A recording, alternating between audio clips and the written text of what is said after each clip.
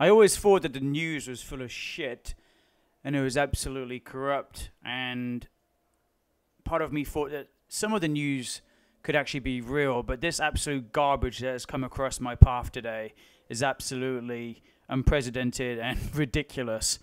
As you can see, there's a post going around that is 100% fake, by the way, people. Do not believe it.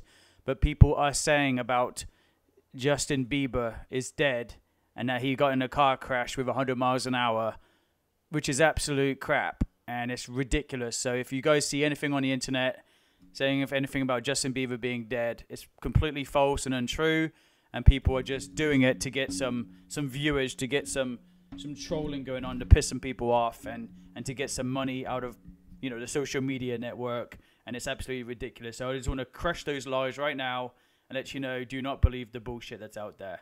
If you guys are new to my channel, subscribe because I speak a lot of truth, not just video games, but anything really. So I'll see you in the next video. Peace out, people. Peace out.